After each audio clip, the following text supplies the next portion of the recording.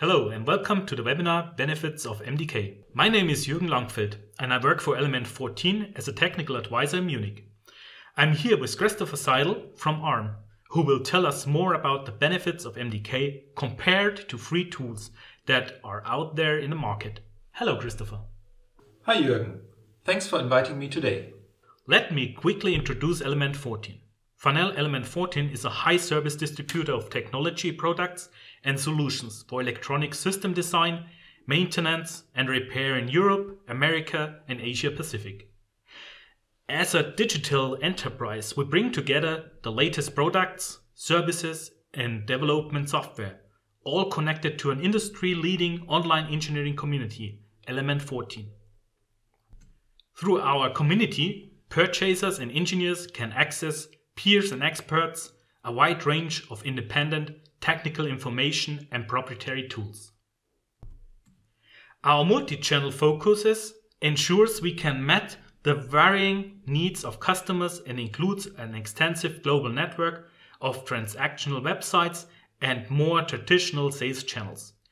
To keep pace with changing technology, our engineers actively identify and source innovative niche manufacturers, providing choice and competitive advantage for today's most in-demand application areas, supported by a global supply chain and an inventory profile in which we invest and develop.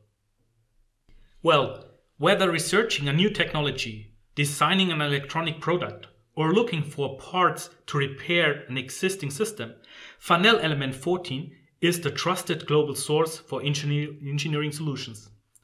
Christopher, as Element 14 has many different silicon vendors on the line card, how many devices are you supporting with MDK?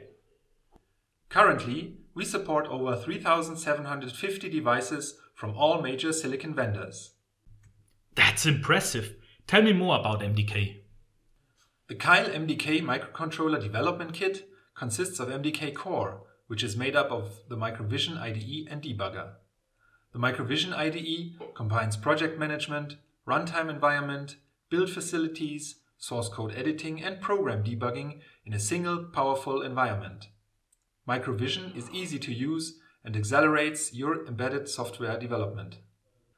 The Microvision debugger provides a single environment in which you may test, verify, and optimize your application code.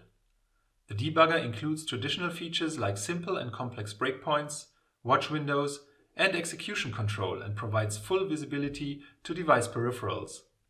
It also contains advanced capabilities such as the component viewer and the event recorder, as well as full instruction trace when using our ULINK Pro debug and trace adapter. Software packs add device support and software components that you can use as building blocks for your application. These software components are provided by ARM, silicon vendors, and middleware companies. CMSIS, the Cortex microcontroller software interface standard, is provided as a software pack itself. It is a vendor-independent collection of API definitions, libraries, utilities, and methods that simplify and accelerate the creation of microcontroller applications. CMSIS is provided free of charge by ARM, and its software components can be used in any open source and commercial projects. Software programmers benefit from RTOS, DSP libraries, consistent access to core peripherals, and enhanced debug visibility. Okay, but which compiler are you using under the hood? MDK is using the ARM compiler, which is considered as the reference compiler for the ARM architecture. It provides very efficient code and has excellent optimization options, which can be easily configured from within Microvision. You can also make use of Microlib, a set of libraries that have been highly optimized for use on the Cortex-M architecture it is possible to achieve reductions in flash footprint of up to 40% compared to the standard libraries when using Microlib. Many of our customers require a compiler that they can use for functional safety applications. Mm, do you have a certified compiler available? MDK offers two versions of the ARM compiler. The proven ARM compiler 5, which is certified by TÜV for functional safety applications and which offers long-term support and maintenance.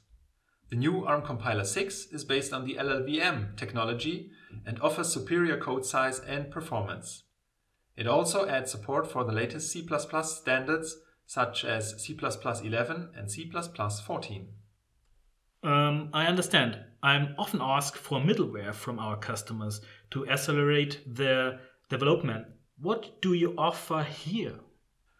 Our MDK middleware provides royalty free, tightly coupled software components that are specifically designed for communication peripherals in microcontrollers. It supports TCP IP networking with both IPv4 and IPv6, USB host and device, and a file system component that lets you work with files and storage devices such as RAM, flash, various memory cards, or USB memory devices. The graphics component enables you to develop flexible graphical user interfaces for LCD displays, while the Mbed software components enable IoT applications. Mbed TLS provides secure communication using SSL TLS whereas Mbed Client connects your device to an Mbed device server. MDK middleware is provided as part of the MDK Professional or MDK Plus editions in binary format.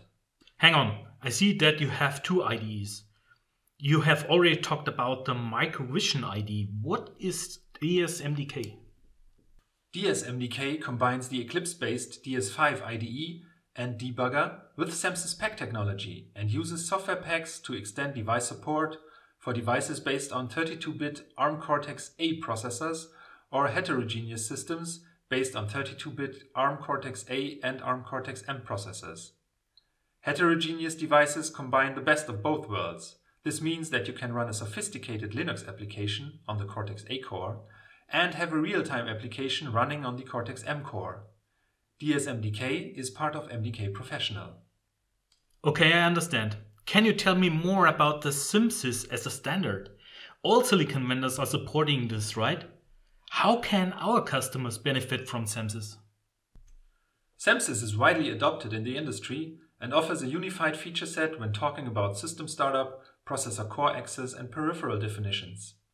CMSIS Core makes it easy to get started with a new device or to migrate software across microcontrollers.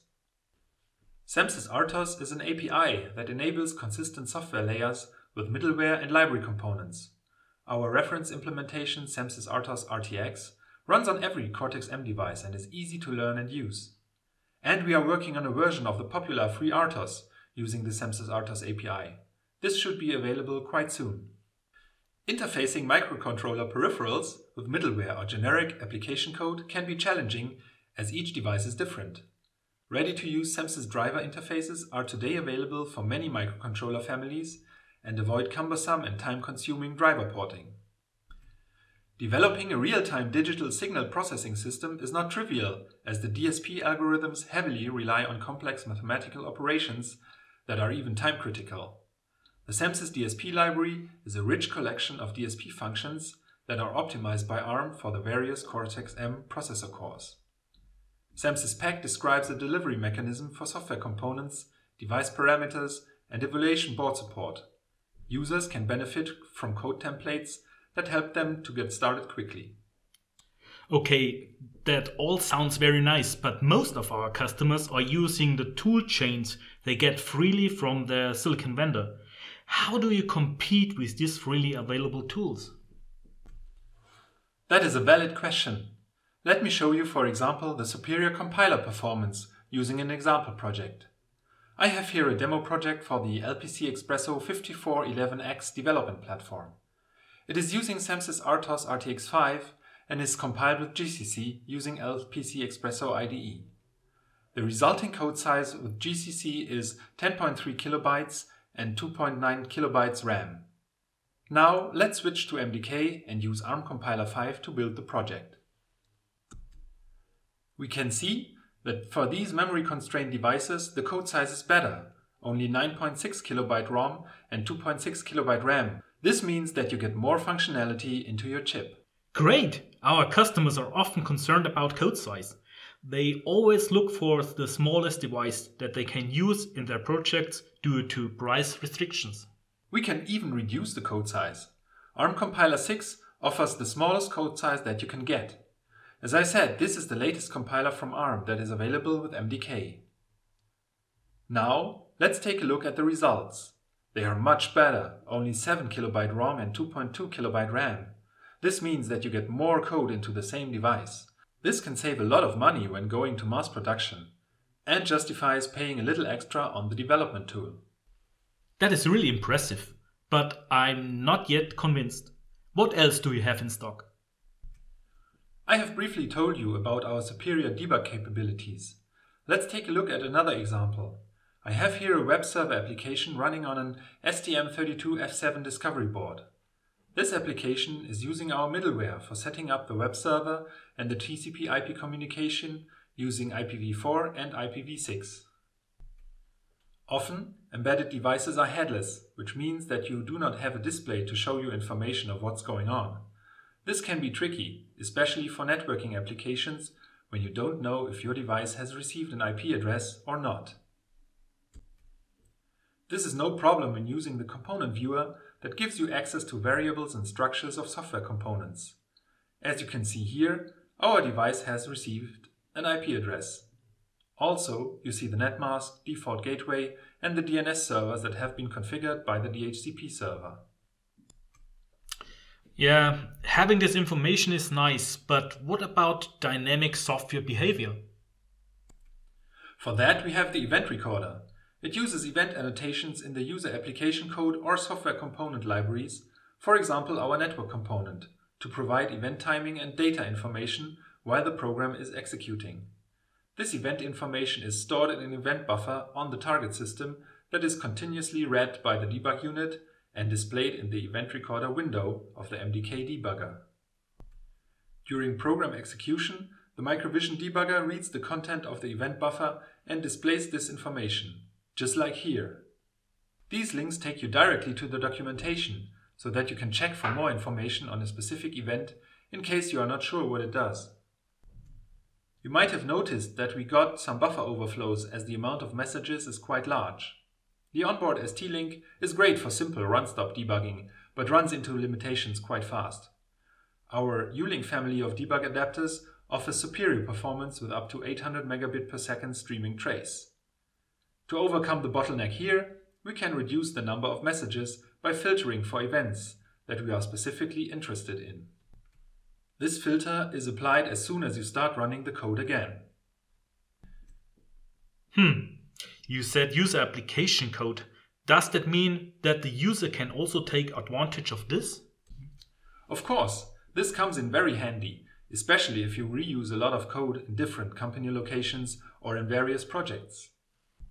This is of course a big advantage compared to free tooling. How do I find more information about this? MDK is a really integrated solution. It offers you F1 help that takes you to the relevant documentation when used on a function name, for example. But you can also use the links from the Manage Runtime Environment window that is using the information from the software packs. Both methods are using the same information from the software packs to display the relevant documentation. Mm, what other resources do you have available? How do you help programmers who are new to ARM to get started? Our learning page on keil.com/learn offers lots of content for all levels of expertise. If you are new to ARM, have a look at the fundamentals and the Start Programming section. Our Getting Started guide is targeted towards new customers and shows how to install and use MDK. If you're more experienced and want to get started with our middleware, have a look at the examples that are available here and which can be used as a starting point for your own application. Ah, now I can see your benefits. What about switching devices? My customers sometimes need to switch from one vendor to another vendor. Do you support that as well? Using a vendor tool, you are always locked in and it is hard to escape. You cannot simply switch to another toolchain. With MDK, you just install the device support pack for the new target and switch your project to it. This works in every edition of MDK. That's awesome! Can you tell me more about the different editions of MDK? Our MDK Lite edition is freely available but limited to a code size of 32 kilobyte. If this is sufficient for you, you can even use it in commercial products. The Cortex-M edition supports all ARM Cortex-M based devices up to Cortex-M7 without any code size limitation. The MDK Plus edition adds support for a subset of our middleware that is sufficient for most software projects. MDK Professional contains the full middleware with the Mbed components and support for IPv6 networking, and also contains models for programmers who need to start writing code for the latest ARMv8m based microcontrollers such as ARM Cortex M23 and M33. Also, this edition comes with DSMDK for programming heterogeneous devices. And all editions can be purchased via Element 14. Let me quickly summarize what I have learned today about MDK. First, MDK provides the widest device support for all major silicon vendors and offers middleware for TCP/IP networking, USB host and device, as well as file I/O and graphics. Second, the new ARM compiler 6 provides the smallest code size and best performance and adds support for the latest C++ standards. And third, the superior debug capabilities of Microvision help you to reduce your development time and get to market faster. Element 14 will showcase MDK at its booth at the upcoming Embedded World 2017 in Nuremberg. Please visit us in Hall 3 at booth 221. Oh, that's just around the corner from ARM. We are also in Hall 3 at booth 342. Christopher, thank you for answering my questions. You're welcome. So, we have reached now the end of the webinar. Thank you everyone for joining. Now, let's take a look at your questions.